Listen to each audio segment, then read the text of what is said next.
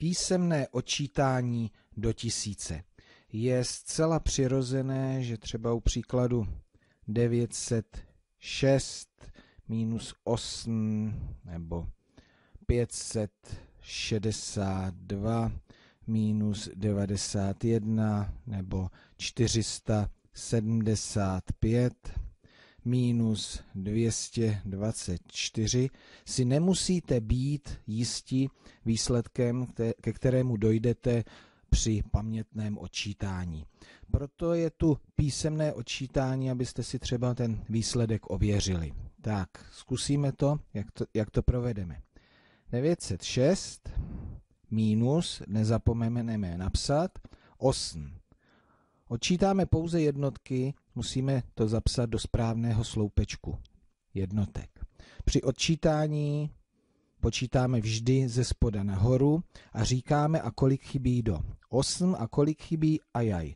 Do 6, 6 je nižší číslo, musíme si půjčit desítku, takže 8 a kolik chybí do 16 a 8.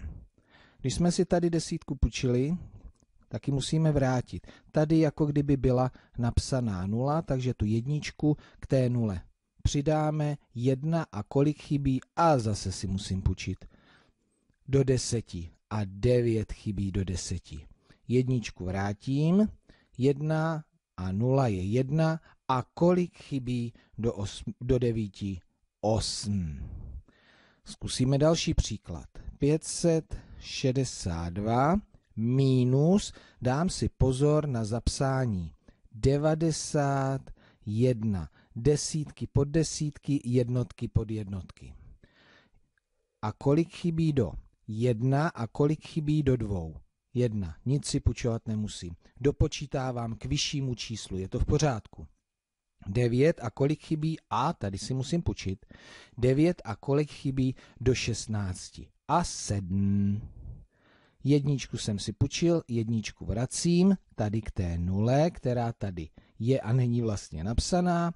Jedna a kolik chybí do pěti? Čtyři. Ještě tento příklad. 475 minus 224. Počítám. Čtyři a kolik chybí do pěti? Jedna. Dvě a kolik chybí do sedmi? Pět.